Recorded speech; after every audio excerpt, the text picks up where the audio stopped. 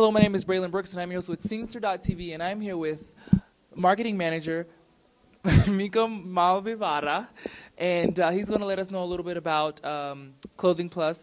Now, Clothing Plus is an integrator, uh, integrator of biometric sensors with clothing. So tell us a little bit about that and about the company. So the way we typically work is uh, we like to partner up with a customer. Uh, we understand what it is that they need, uh, and then together with the customer, we start up to we seek a solution to that problem. We dig into our network of uh, contacts and experts uh, that we've gathered over the 15 years that we've been around, and we source the best materials and the best technology for that project. Then we do the integration, and every single uh, development project is squarely aimed at mass production. Is Clothing Plus in any leading retailers uh, in the U.S. or in Finland? You would not find Clothing Plus at any retailers. So we don't brand our stuff. It's uh, that real estate is basically reserved for our customers. So uh, you would definitely see plenty of stuff made by us uh, in shops. Uh, I mentioned the, uh, the heart rate straps, which we manufacture uh, about 80% of the world's textile heart rate sensor straps for pretty much, pretty much every big company out there. We do their heart rate sensor straps. Yeah, this is a unisex um, vest that we've developed together with Philips. So what does this vest actually help do? Like This- what, is, what, what, what would be the need for this vest?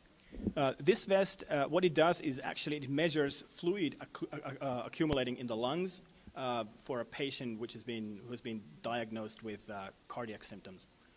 Uh, so one of the uh, first indications of uh, a collapsing, weakening heart is that fluid starts to accumulate in the lungs, and uh, we can actually detect that through the bioimpedance sensors that we have here.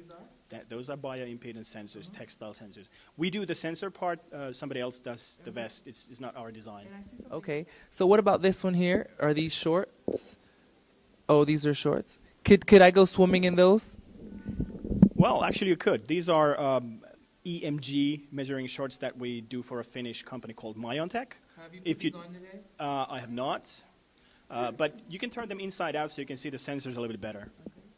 If someone, you know, if somebody's in a workout and they're sweating, couldn't this electrocute someone with all these sensors and padding and things like that?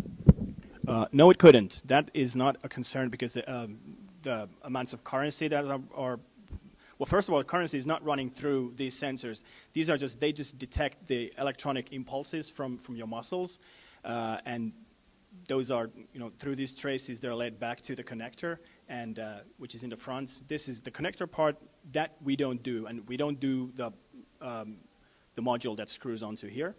So what was the purpose of starting this uh, Clothing Plus? What was the purpose? What was the motivation or the point behind all of this? Uh, well, we started out with the first wave of wearable te- technology uh, roughly 10, 15 years ago. And back then, the aim was to actually build electronics into clothing so we could have really intelligent clothing with embedded electronics. That didn't really fly because of many things, but we turned the whole thing upside down. And instead of putting electronics into garments, we thought of taking textile to the electronics industry. And that paid off big time. Uh, in 2002, we started mass producing our very first uh, textile sensor uh, product, which was the Polar Wearlink, and uh, we've been at it ever since. I like the material of the clothing. It's actually very like soft and it feels like it's very form fitting. Like it's actually like a really good material. I like that. And it, of course, this is a woman's, of course. so, and what is where are the sensors located in this uh, training bra? It looks kind of more like a training bra. Yeah, that's right. It's a, it's a sports bra, sports bra. uh, and uh, if we can just hold it to the camera, it's, it's on the inside inside of the uh, uh, elastic trimming.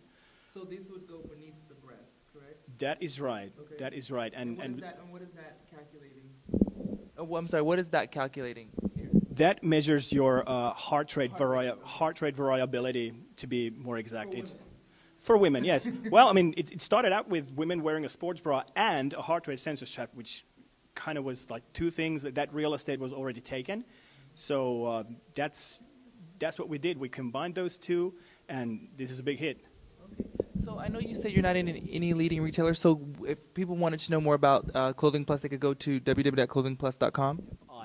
I, Fi- For Finland. Okay, thank you. Er, Is there anything else you want to add? um, look for more and more sports, fitness, and medical products with textile integrated sensors in the future because they're going to be there big time. And I have to ask, what makes this? What makes Clothing Plus different from all the other technologies like this? Actually, that's a good question because uh, we don't really have much competition uh, in this field. We've been at it for 15 years. That? That's actually Yeah. we're a bit you know baffled by that there's because like, yeah, I yeah, I mean yeah, for sure we're expecting you know somebody to Yeah. try to get a piece of their pie, but the thing is that we've got uh, a 15 years uh, you know head start to them. And I think that's great because you guys could be the first. So um, I'm sure a lot of these things are patented, right? And you know, so that way people won't take your guys' ideas, and that way you can uh, continue to be innovative and you know evolve into a bigger, better brand. Yeah, well, that's an thanks for touching on that subject because uh, the the way we work in in terms of IPR is that uh, we don't really patent the stuff that we do, the innovations that we do. It's usually our customer who gets the right to patent it. That way, we save both time and resources in the legal department. We also we don't fall in love with the stuff that we do because we don't we don't patent it and we don't defend it in any way. That frees our resources to do even better R and D and be uh, again a couple of steps ahead of anybody else. Well, that just happened here at the first Wearable Tech Expo in Los Angeles with Mikko Malmivaara. that just happened. Thank you. I appreciate you.